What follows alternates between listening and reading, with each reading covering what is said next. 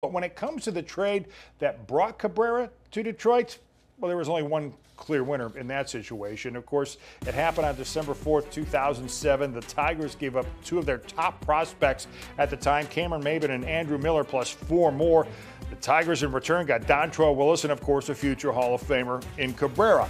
In South Florida, they consider it the worst trade in franchise history. Meanwhile, it's worked out pretty darn well for the Tigers. And how it all went down is a fascinating piece of baseball history. The reason why at the end the Marlins decided that we had to trade Miguel Cabrera is that I had told our owner that we would have a new stadium that would open in 2006. It became very clear that I had missed my deadline and we had no chance of a new stadium anytime soon. And Miguel Cabrera was going to be a free agent, and we were not going to have the money to sign him to the contract that he was going to get in the open market. And the Detroit Tigers were a match made in heaven for the type of trade that we were looking for. Dave Dombrowski is a very interesting president of baseball operations. He knows exactly what he wants, and the negotiations with Detroit were actually quite simple. The most important part of the trade for Miguel Cabrera is that we wanted to get both Cameron Maybin and Andrew Miller, who were two of the top five prospects at the time in Major League Baseball. And Dave didn't screw around. Let's not let them get anybody else involved in the bidding here for Cabrera. We felt if we ended up accepting the deal, then they would make it.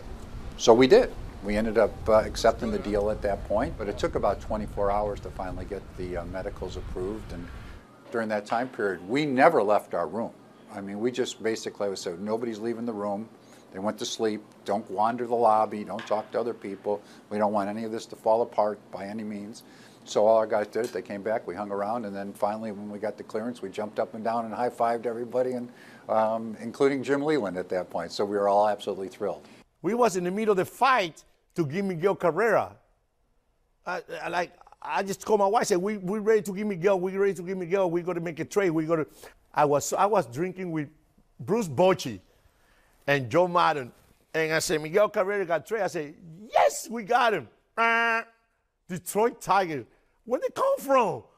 I really do remember playing Xbox Live, and all of a sudden I'm playing one of my one of my boys, and he's like, "Did you just see that?" And I'm like, "What?" He's like, "Bro, it just said Cameron Maybin got traded to the Marlins," and I'm like, "No way."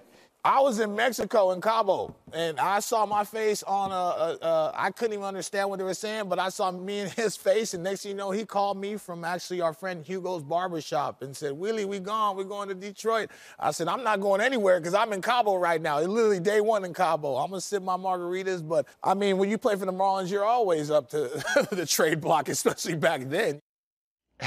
you don't just drop a margarita when you're on the beach in Cabo. You take your time and eventually make your way to Detroit. That, that um, the excitement around that was amazing. It was it was an extremely fun time, of course, uh, in Detroit and for Tigers baseball.